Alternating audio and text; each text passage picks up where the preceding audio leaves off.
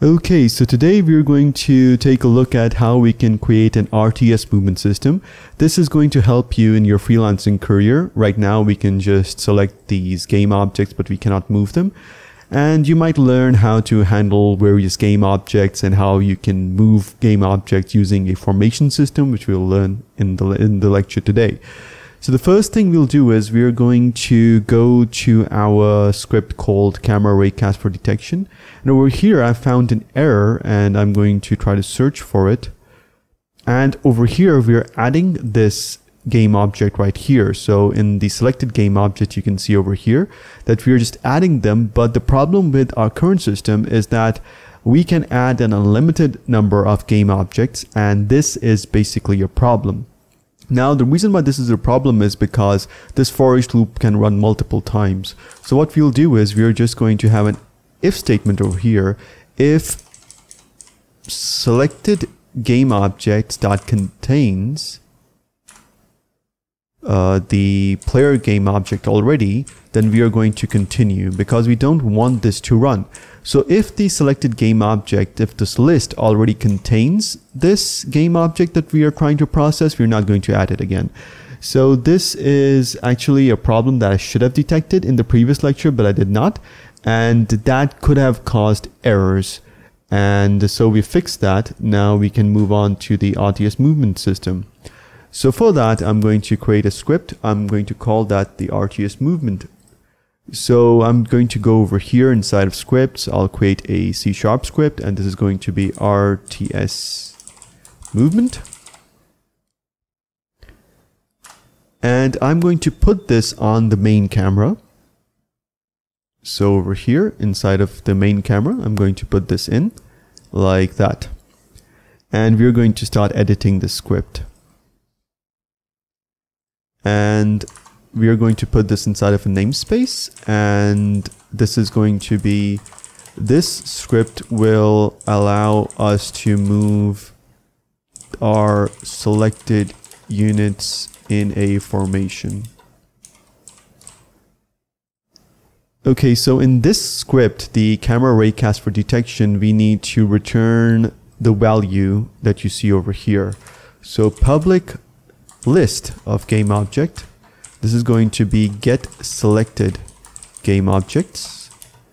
And we're simply going to return this so it's going to be like that and selected game objects. This will return the selected game objects that will be selected when the selection box feature is activated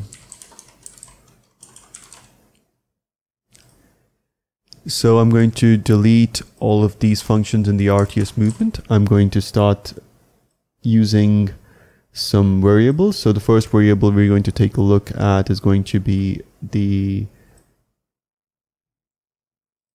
the first variable is going to be the reference to the camera, so private camera, main camera reference. This is a reference to the main camera. So once we have that, now we're just going to go and have a serialized field private camera raycast. And this is going to be camera raycast for detection. And this is going to be, this is going to be the reference for the camera raycast for detection script. This is the script that we are using for the box selection for the mouse drag to select units feature. And now we're going to have a game object which is going to store the closest unit. So private game object closest unit. This is going to store the closest unit to the mouse click position. Basically, if we click on, on the ground, we want to store the closest unit that is to the mouse position. So for that, we're going to use this. And this is how it's done. So Then we need a vector for the current target. So we're just going to insert it over here. And this is how it's going to look like. And we also need a variable for the, we need a list actually. So private list, it's going to be game object. And this is going to be positions relative to closest unit. This is a list that will store the positions of all units relative to the closest unit. It may also contain the position of the closest unit itself, but it will have a zero have a it will have a zero difference in position. I'm going to explain this later. So this uh, this I will explain later. Now we need to have a variable which will help us stop the movement when we are changing the when we are changing the current target position. So when we change the current target position, we also need to stop the current movement routine. So when this is true, it will stop all of the all of the routines that are required for the movement of the units. There you go. Okay. Now we're just going to create a variable which we'll call an update. So I'm just going to have shoot ray to detect collision with ground to start movement. Private void. And this is going to be right over here. This will allow us to shoot a ray that will detect collisions with the ground. And I'm just going to create a quick statement right here, which is going to be this. So this is going to be for the right mouse click, and you can see that get mouse button 1, get mouse button down is 1. So this is going to be for the mouse button 1. I'm going to select I'm going to draw the ray over here like that. And uh, we will basically now check if the ground was hit like that. And over here, we are going to have a small check if we are colliding with the ground. So if we have stop movement to true, we will return. So this will prevent us from double clicking. It will also make sure that uh, we are basically not running this immediately and we need to have stop movement to true so we can stop the previous routine if there was a routine running. I will basically I will basically uh, explain this when I create the code for this. So now we're just going to write this right here. So this is going to basically be the current target position is equal to ground was hit. So where wherever the raycast hit, we're going to select that point and we will make sure that the Y position is one. Now the reason for that is because the Y position, it's one for all of the, for all of the, uh, capsules or the units that we have. Now in a normal RTS game, you might also have terrain. So you will have to write your, your, your movement code and uh, right now we don't have that, but for terrains and everything, you need to probably use the system that I created previously in the previous lectures and combine it with this for proper movement. So for debugging, uh, remember that we created these lists, we will clear them, but these lists are basically not going to, they're basically, uh, they're not going to be used right now. These are just for debugging. So position relative to closest unit, and number of selected units, I think I don't have that. So we're just going to create this variable. I think I missed it. Yes, I think I missed it. So it's going to be over here, int, private int, private int number, number of selected units. This is going to tell the game the number of selected units.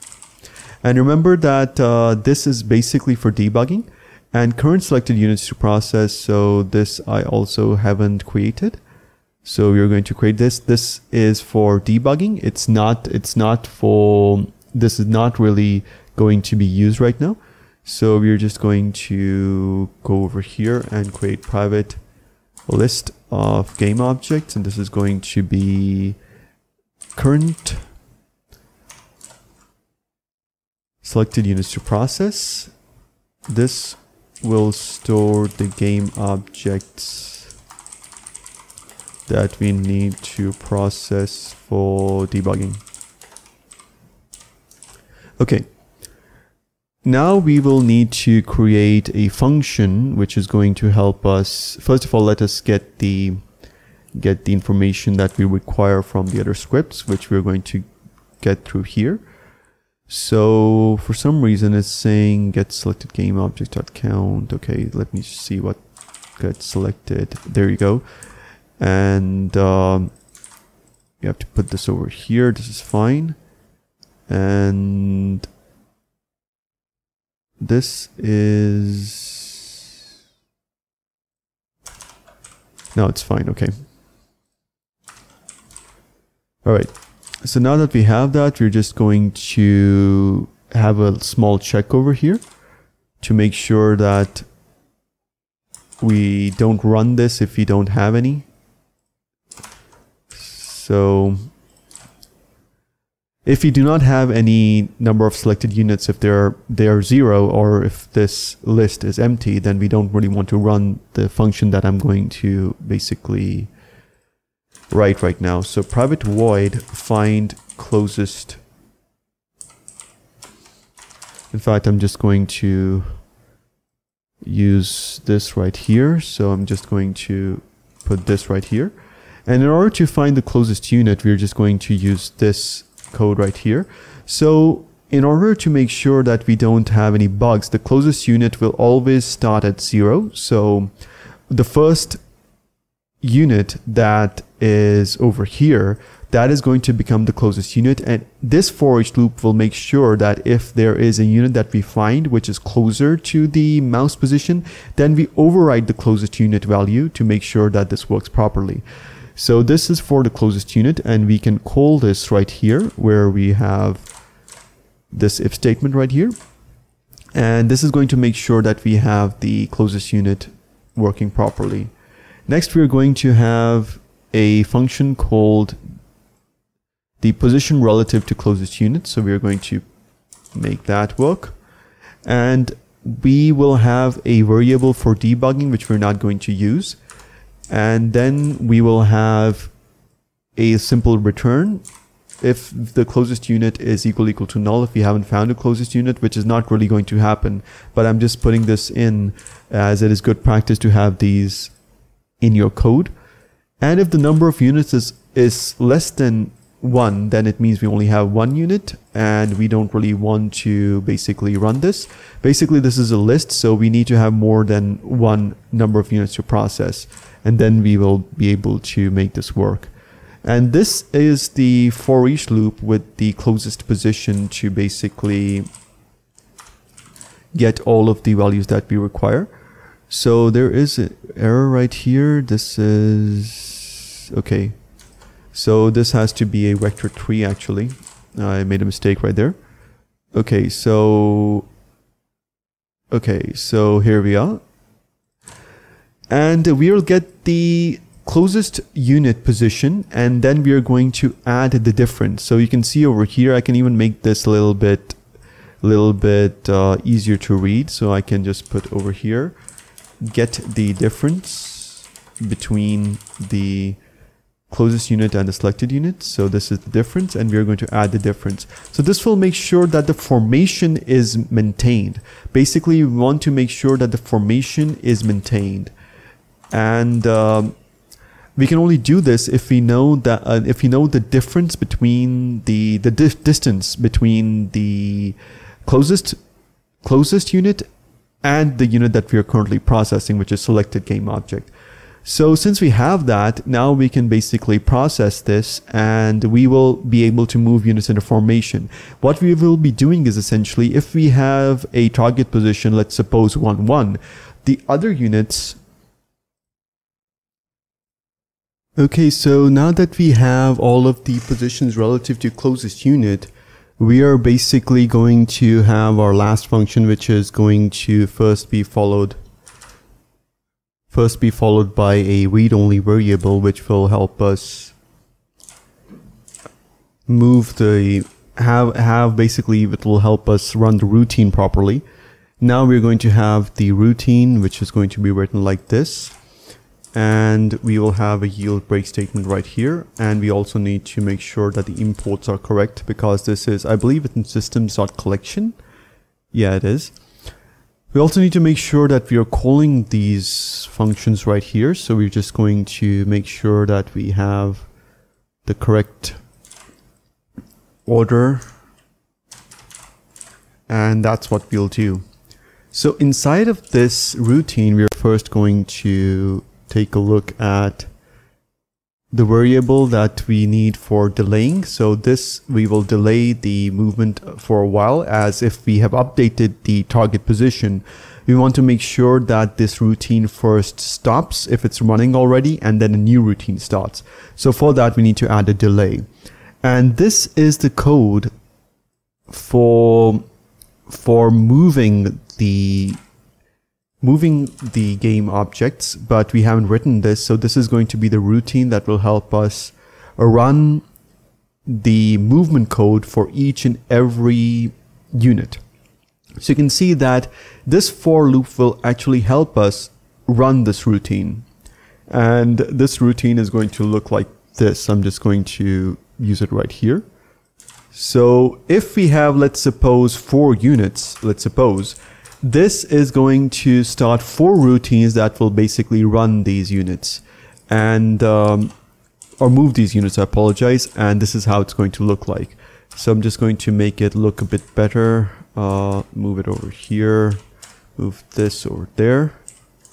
And I believe this is fine. And this should be, I think I should just use the formatter. And I think that the formatter is not really working right now just going to make sure that it looks a little bit good. So like that and like that. Okay now now we're now it looks a bit better. Okay so this for loop this routine will basically run another routine and this will be for each and every unit. And when I'll start writing you'll understand what I what this routine will do.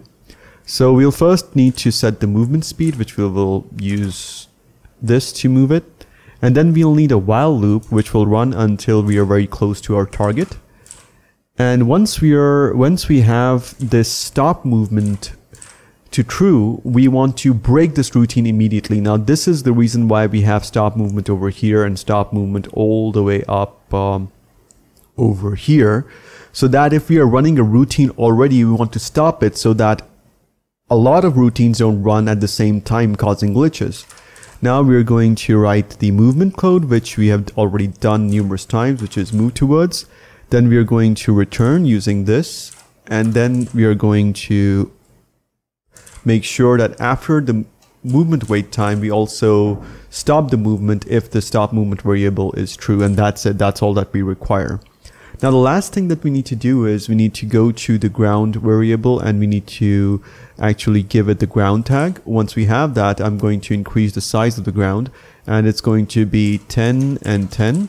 I'm going to move the main camera to 65 degrees, move it up. So it's going to be around uh, 20.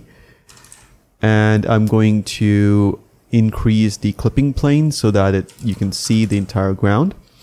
And I believe that is all that we require. In fact, I can move it a bit up as well. 25 seems to be okay. I'm going to move this to minus 12. So minus 12.5 like that. I'm going to click play. And let's see if this works. So I'm just going to select all of these units. And of course, I did not pass references. So I'm going to go to this right here. I'm going to drag the main camera into this right here and the camera raycast for detection over here. Now I'm going to click play And let's see if it works now. And it's working and you can see the formation is basically working as I expected. You can see that the formation and the distance between the units is also maintained. So that is your RTS movement solution. You can mix this up with other solutions to create complex movement systems. I hope this was useful.